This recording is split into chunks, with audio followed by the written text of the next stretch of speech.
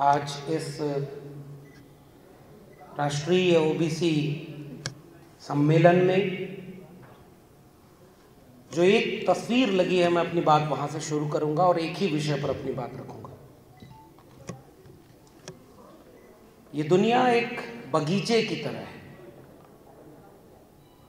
और इस बगीचे को संभालने, संवारने और बचाए रखने के लिए हर दौर में एक माली की ज़रूरत होती है।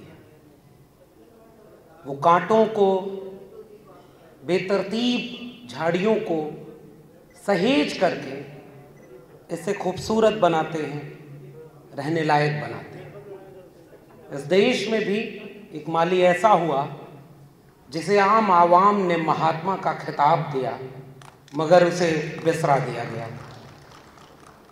मैं उस माली से महात्मा बने शख्स की एक सबसे तेज जलती हुई मशाल से अपनी बात यहाँ पर इस सभागार में रखना चाहता हूँ, और वो मशाल थी शिक्षा की। 19 अक्टूबर 1882 का दिन था।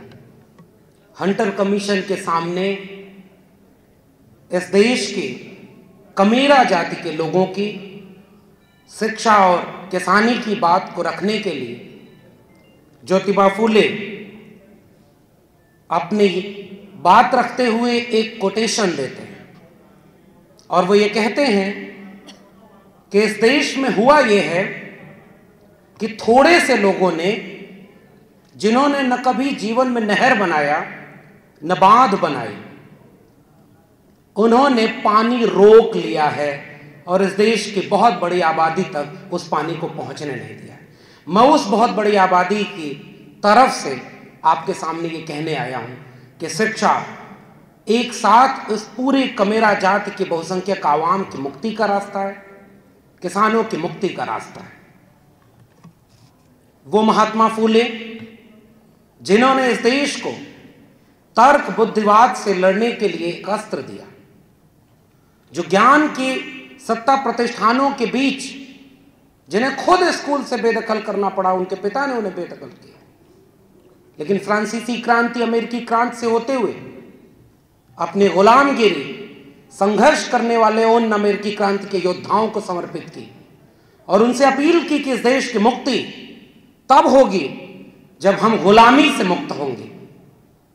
और वहाँ उन्होंने ये बात समझाई कि इस देश में जैसे जूते बनाना मोची का धर्म नहीं, धंधा है लकड़ी के औज़ार बनाना एक कुम्हार का धर्म नहीं, धंधा है। वैसे ही इस देश में ब्राह्मण का पुजारी बनना और अवैध रूप से दान दक्षिणा पर कब्जा करना, उसका धर्म नहीं, धंधा है। ये बेबाकी उस शख्स की थी और उससे वो ताकत लेकर के इस देश की आधी आबादी को आच्छादित करने वाले अन्य पिछड़े वर्ग को जो पहचान मिली मंडल कमीशन के रूप में एक मुकम्मल पहचान मिली वर्ग की। उस पहचान की ओर से जो सबसे अहम सवाल है, जिसमें से एक है जो दिलीप जी ने कहा, जाति जनगणना, मैं उसमें से एक महत्वपूर्ण सवाल शिक्षा की बात करूँगा। और शिक्षा की बात इसलिए क्योंकि उस आधी आबादी के साथ जो सबसे बड़ा संकट है, इस देश के अन्य पिछड़े वर्ग के साथ जो फ़िलहाल मुझे लग रहा है सबसे बड़ा संकट है, वो ये कि वो अपनी सांस्कृतिक जड़ों से उस हद तक नहीं जुड़ा है जितना उसे जुड़ना चाहिए था। वरना ज्योतिबा फूले, सावित्रीबाई फूले से लेकर के ईवी रामास्वामी नायकर पेरियार, शिवदयाल सिंह चौरसिया, चंद्रका प्रसाद जिज्ञासु, पेरियार नरई सिंह यादव, रामस्वरूप वर्मा जगदेव प्रसाद कुशवाहा, अब्दुल कयूम अंसारी और आसिम बिहारी की तस्वीरें, उनकी किताबें उनका संघर्ष इस देश के अन्य पिछड़े वर्ग के घर की किताबों के दौर में होता। और वो इसलिए नहीं हुआ क्योंकि हमने शिक्षा की अहमियत नहीं समझी। और अब इस समय देश में यह हो रहा है कि आपका हक आपसे छीना जा रहा है और उसमें सबसे पहला हक जो छीना जा रहा है, चौतरफा हमलों का दौर है। उसमें जो सबसे खतरनाक हमला है, जिसका असर बहुत दूर तक होना है, वो है आपके बच्चों के हाथ से शिक्षा छीनी जा रही है।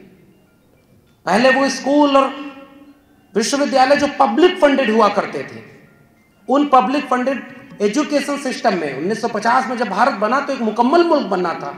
यानी जो हाशिए पर जिसे धकेला गया, उसे भी मुख्य धारा में लाना है। तो किसी की जेब में कितना पैसा है, इससे नहीं तय होगा कि उसे तालीम कैसे मिलेगी। इसलिए राज्य की ज़िम्मेदारी थी कि वो बेहतर स्कूल बनाए, वो बेहतर विश्वविद्यालय बनाए। और नब्बे तक वो काम धीरे धीरे हुआ। लेकिन नब्बे के बाद जब वो विश्वविद्यालयों में पहली बार बहुजन तबके के लोग आने लगे, उसमें एक साथ पैरेलल एक तरफ़ नियो लिबरल पॉलिसीज़ आ रही हैं और दूसरी तरफ़ विश्वविद्यालयों में आरक्षण के बाद पहली बार लोग जब आए, उन विश्वविद्यालयों को ही बर्बाद करने की कोशिश शुरू हो गई। उस कोशिश में सब गुनहगार हैं। और अभी वो कभी not available not found suitable तो कभी उनके लोग जब पीएचडी में इंटरव्यू देने जाते हैं वहाँ एडमिशन नहीं, उनके मनमाफिक रिसर्च नहीं करने दिया। और वो वो खेल 2021 तक चलता है कि जेएनयू जैसे देश के सबसे प्रतिष्ठित संस्थान में रिज़र्व कैटेगरी के लोगों को 30 नंबर के वाइवा में एक नंबर दिया जाता है।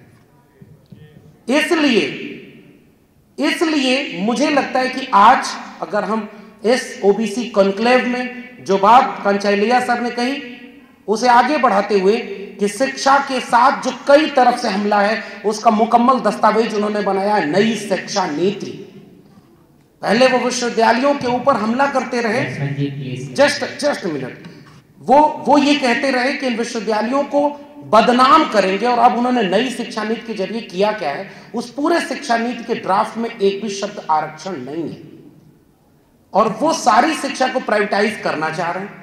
इसलिए मुझे लगता है कि अन्य पिछड़े वर्ग के साथ अगर हम शिक्षित करने और वो भी मल्टीपल लेयर से शिक्षा की, फिर कभी उस पर बात होगी, क्योंकि मंच की सीमा बहुत थोड़ी सी है।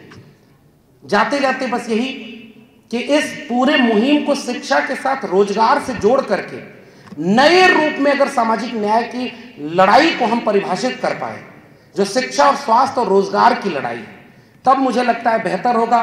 और एक सुझाव कि अगर राष्ट्रीय ओबीसी सम्मेलन है तो पसमानदा आवाजों को भी हमें इसमें शामिल रखना चाहिए। ओबीसी की तमाम जातियों को जोड़ना चाहिए और मुकम्मल रूप से बड़ी लड़ाई लड़नी चाहिए। उम्मीद है कि हम बेहतर लड़ाई लड़ेंगे, पढ़ाई करेंगे और आने वाले कल में कुछ बचा पाएँगे जो विरासत में हमें मिला है। बहुत बहुत शुक्रिया।